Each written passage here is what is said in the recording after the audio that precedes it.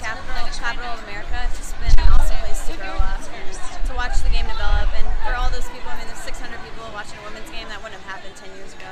It's really exciting for them to get that support and for people to be on fire for soccer. Yeah, Now. how